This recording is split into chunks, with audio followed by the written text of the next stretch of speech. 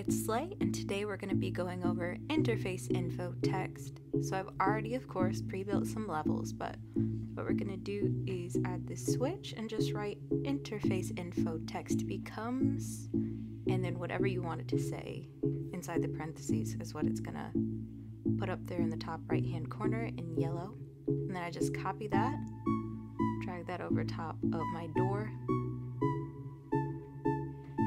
then on this side of the map, I'm going to do the same thing. I'm going to paste, and I'm just going to change the name. So this is my favorite way to use the interface info text. It's just to reveal what setting you're in. So you start here, and when you walk through, automatically will tell you where you are. This is the Vine Woods. And when we turn around and go back through, it's Finnegan's Pool.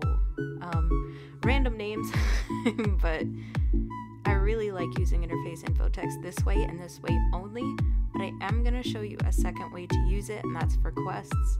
Personally, for my games, there's main quests and side quests, so I wouldn't necessarily use this for a larger one, but on a smaller scale, it can work out pretty good just gonna start off by saying if Hero lacks the token daughter, the dad's like, Can you help me find my daughter? Now, obviously, in a real game, she wouldn't be out in the open. You could hide her maybe somewhere in a different level.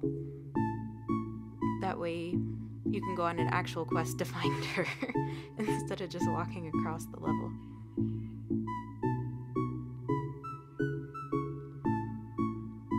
Okay, so when we talk to him, the interface info text is gonna be like, Go find his daughter.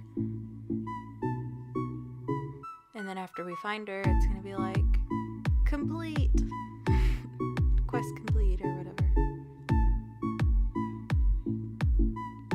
And then when we go and talk to him again because of the else situation, it's just gonna stay quest complete. He's not gonna ask us to find his daughter again because we've already accomplished that and we've moved on.